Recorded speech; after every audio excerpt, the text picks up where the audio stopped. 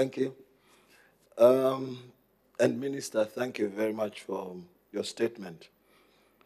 Um, Madam, the situation on the ground in Mazabuka, where these two entities used to operate from, suggests that the ex curia agreement, which in simple terms really means no litigation, has not yielded any positive results in terms of compensating the unsuspecting citizens who put in their money in order to get hefty interests. Minister, what sort of protection have you put for your citizens in the face of you, one, or rather the DEC and uh, the NPA agreeing to go into an ex curia agreement which did not include the other party, meaning the depositor, in the current circumstances that Ono and Comsave have remained closed to business. They have not been paying out the depositors because they bought these properties and vehicles, disposable things that you clearly put in your statement. What extra measure is government putting to make sure that this ex curia agreement is honored? The Honorable Minister of Home Affairs. Uh, thank you so much, Madam Speaker, and I certainly appreciate the follow-up uh, question from the Honorable Member of Parliament for Mazabuka Central. Madam Speaker, the ex curia agreement has got a period in which the obligations that have been agreed to be honored should be honored. Period of 12 months.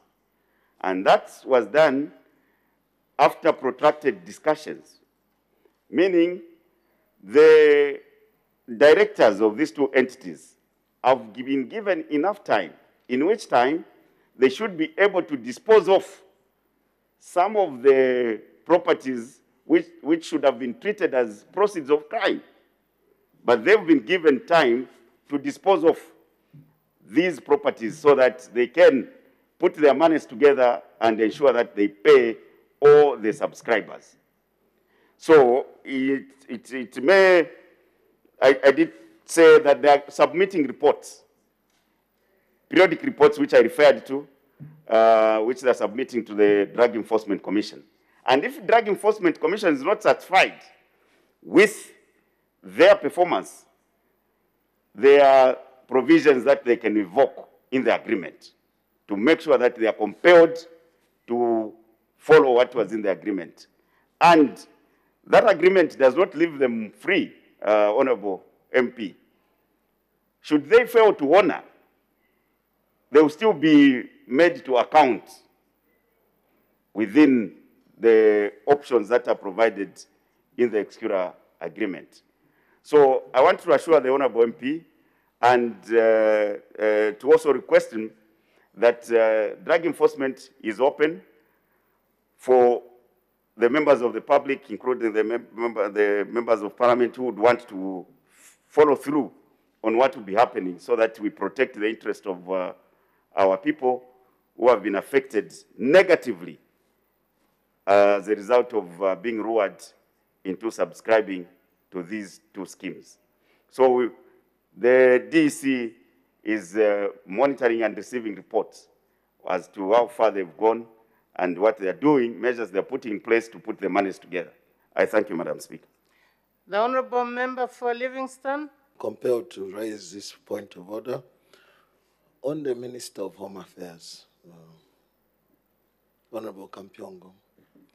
Madam, this offense that um, the directors of COMSEL and uh, ONO committed, that of money laundering, is a very serious offense under the Penal Code. And the last time I checked, it attracted, if found guilty, a penalty of 170,000 units or 10 years in jail or both where the case applies. In his last response, the minister described this casually as just a deal that went bad. Is it therefore in order to casualize such a, a criminal offense as a, and describe it as a deal that just went bad? I seek your ruling, madam. My ruling is that the Honorable Minister of Home Affairs would take that point of order into account as he responds to the question that uh, the Honorable Member for Chiengi is about to pose. Honorable Member for Chiengi, you are on the floor. Proceed with your question. Thank you, Madam Speaker. Yeah, I was, what I was saying, Madam Speaker, was Uh, thank you so much, Madam Speaker. I'll start by addressing the point of order raised by the Honorable MP for Mazabuka. Madam Speaker, if we were trivializing this matter, I wouldn't be standing on this floor. You yourself, Madam Speaker, permitted me this lot at the expense of other important business transactions of this August House. Why? Because you also saw the importance and the gravity of this matter.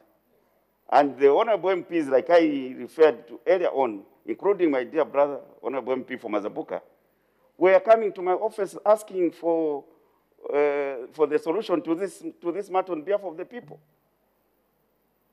So if we, we were treating this matter casually, certainly I wouldn't be standing here belaboring to explain to my colleagues on the progress that has made on this matter. I only referred to the deal because the people were lured into this transaction. And there was a deal between the people and these, these directors. So things haven't worked well, and they were found wanting. And indeed, money laundering is a very serious crime. And I did also mention, Madam, that had it been for the interest of the so many innocent Zambians who were lured on these schemes, these people would have been trotting between their, their, the, the courts and their homes as I speak. But the Director of Public Prosecutions weighed the matters and found it fit to settle the matter in the manner they've decided to settle in consultation with the Drug Enforcement Commission. So this is a very serious matter. As to the follow-up question from uh, the Honorable MP Chiengi,